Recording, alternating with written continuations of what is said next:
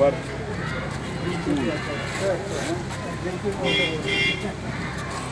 आसनिक plant के लिए भी हम ज़मीन यहाँ मुहैया कराएँगे नहीं आ जाएगा वही सब ये है और भी दूसरी जगह है। अभी सर एक जगह जगह हम पोस्ट तरह का हमारे स्वजन सर सर लगा अभी सर वहीं वहीं चलेंगे वो अर्जेंट इसमें- इसमें डीप बोरिंग है हाँ यही सेम चीज़ अच्छा ये बोरिंग कहाँ जाओ आप इसको बोरिंग करवाए थे हाँ, पहले से। अच्छा